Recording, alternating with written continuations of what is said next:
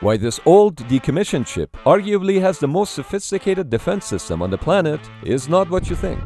Meet ex-USS Paul F. Foster, now serving as a Self-Defense Test Ship or SDTS. This ship tests out weapons, radars, and defense systems deployed for many warships including Zumwalt destroyers and Gerald Ford-class aircraft carriers. She's basically like a retired grandma who knows MMA.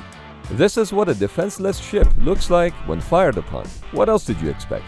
And this is why a variety of counter anti-ship missiles have been developed like the RIM-162 Evolved Sea Sparrow missiles.